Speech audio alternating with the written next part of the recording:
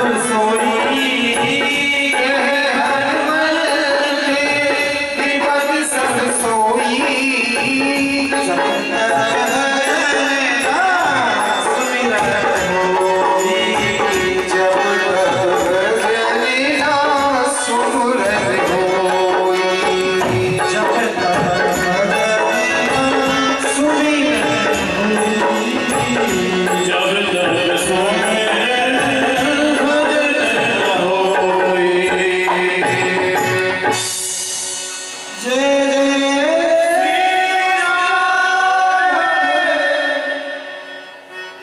इतनी ज़ोर से बोल रहे हैं आपको कल्याण हो जाएगा मैया का। जय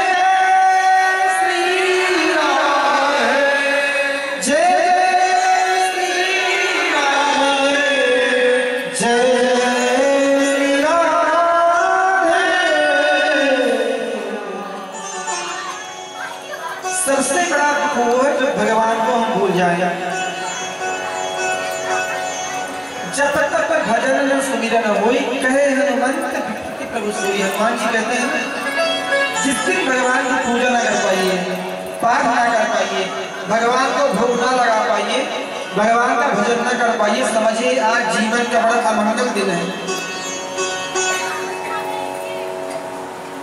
अमंगल है। जिस दिन आप भगवान का भजन कर ले पूजा कर ले उस दिन समझिए आपका दिन मंगलमय हो गया। क्या हो गया? मंगल में जब तक तक भजन न, सुमिरन होई। कहे हनुमंत विपत्ति प्रभु सोई देखिए देखिए, दुख जो है विपत्ति नहीं है। दुख जो आया ना हमारे कर्मों से आया। इस जन्म के नहीं तो पूरे जन्म के कर्मों से आया। दुख आएगा, कष्ट आएगा, बीमारियाँ आएँगी, तनाव होगा, टेंशन होगा। यदि हम भगवान की भक्ति करेंगे, भगवान के चरणों में मन लगा लेंगे, प्रभु से हमारा नाता हो जाएगा तो क्या होगा? वो दुख तो आएँगे, पर हमें विचलित नहीं कर पाएँगे। वो दुख से हम क्या करेंगे? दुख को सह लेंगे। दुख तो आएगा। संसार में ऐसा कोई व्यक्ति नहीं है, जिसके जीवन में एक बार दुख ना आए। क्यों दुख आएगा? दुख भी आएगा, सुख भी आएगा।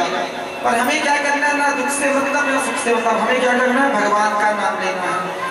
दुख किसको होता है? शरीर को होता है, मन को होता है, इंद्रियों को होता है। सुख भी मन को होता है, इंद्रियों को होता है। अच्छा भोजन कर लीजिए तो बड़ा अच्छा लगता है। आज बढ़िया भोजन तो आज मन का भोजन बन गया। कभी नहीं मिल पाया, भोजन नहीं आपका मेरा दुख हो जाता है। ये इंद्रियों का जीवन है। इंद्रियों को कितना भी गिराएँगे ये तृप्त नहीं होने वाली। और जब तक भजन सुमिरन होई इंद्रियों को भोजन चाहिए, पर आत्मा को जो है भजन चाहिए। आत्मा के लिए भजन किया जाता है। भजन करने से क्या होता है? हमारी आत्मतृप्ति होती है, हमारा कल्याण हो जाता है। हम सबका भला तो कर लिए पर अपना स्वयं का नुकसान कर रहे हैं। बहुत बड़ा नुकसान कर रहे हैं। जितने भी प्राणी हैं, विशेषकर मनुष्य, सबका भला कर दिए। परिवार का कर दिए, पुत्र का कर दिए, पत्नी का कर दिए, पड़ोसी का कर दिए। खूब भला किए, खूब पैसे बांट दिए, खूब घर बना लिए। पर अपने लिए कभी कुछ नहीं कर पाए। अपने कल्याण के लिए कुछ नहीं किए। अपना कल्याण चाहने वाले को जितना जल्दी हो सके, ज़्यादा नहीं तो थोड़ा थोड़ा धर्म करना चाहिए। एक एक खून से घड़ा भर जाता है ना थोड़ा थोड़ा करिए। थोड़ा थोड़ा करेंगे तो कल्याण हो जाएगा। और अपने जीते जी अपने चलते शरीर से अपने अच्छे धन से भी धर्म कर लो धर्म करने से बड़े लाभ हैं, बहुत लाभ है। जय जय श्री राम कुंती बुआ, बोले, मुझे दुख दे दो, भगवान बोले, बुआ, दुख मत मांगो। कुंती बुआ बोले, दुख रहेगा तो आप रहेंगे। भगवान मुस्कुरा गए। बोले, आप मेरी परम भक्त हैं। मेरे जो असली वाले भक्त होते हैं, मुझे चाहने वाले होते हैं, मुझसे कभी कुछ नहीं मांगते। और जब मुझसे भक्त मेरा कुछ माँगता नहीं तो मुझे रुकना पड़ जाता है। ध्यान दीजिएगा। जब भक्त कुछ मांग लेता है तो फिर भगवान देकर चले जाते हैं। और जब भक्त कुछ माँगता नहीं तो भगवान वहीं रुक जाते हैं और भगवान रुक ही गए आज। अब भगवान रुके और पांडव को लेकर के आज पहुँच गए भीष्म पितामह के पास। बोले, भीष्म पितामह, मेरे बहुत बड़े भक्त हैं। अंतिम समय है उनका। जाकर दर्शन दे भगवान पांडवों को लेकर गए और पांडवों को ले जाकर के जैसे ही भगवान पहुँचे तो भीष्म पितामह किसमें है बाणों की सैया में तो प्रणाम नहीं कर सकते ना। हाथों में बाण है, पैरों में पूरे शरीर में बाण लगे हैं। तो मनी मन प्रणाम किए तो भगवान मुस्कुरा गए। भगवान बोले, भीष्म पितामह, आपको भी प्रणाम। आपको बहुत बहुत आशीर्वाद और भगवान पहुँच गए।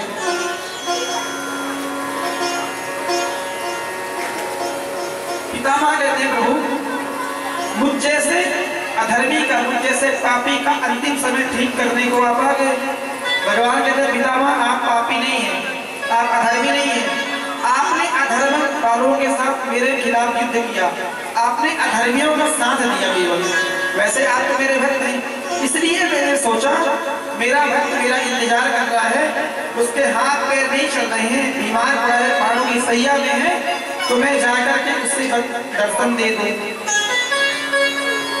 कहते हैं भगवान कहते हैं भागवत जी में मेरा कोई अनंत प्रेमी भक्त हो। जीवन भर मेरा भजन करे। आखिरी समय पर उसके जीवन में बहुत कष्ट आ जाए, बीमारी आ जाए, रोग आ जाए, चल ना पाए, मंदिर जा ना पाए, वृंदावन जा ना पाए, भागवत सुन ना पाए तो भगवान कहते हैं, मैं वहाँ पर जाकर उसको दर्शन देता हूँ। और हाँ शर्त यह नियम है वो मेरा भक्त होना चाहिए। जय जय श्री राधे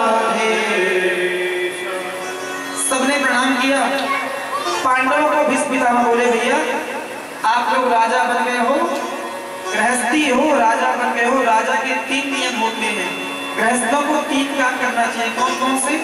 गृहस्थ व्यक्ति को जिसके पत्नी हो, परिवार हो, बच्चे हो, भाई हो, बहन हो, विवाह किया हो उससे खूब मेहनत करनी चाहिए।